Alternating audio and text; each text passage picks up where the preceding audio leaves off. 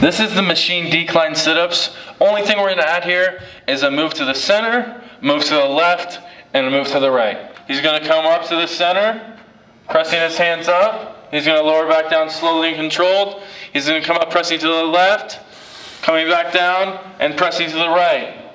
So three reps on this exercise is one movement. Good.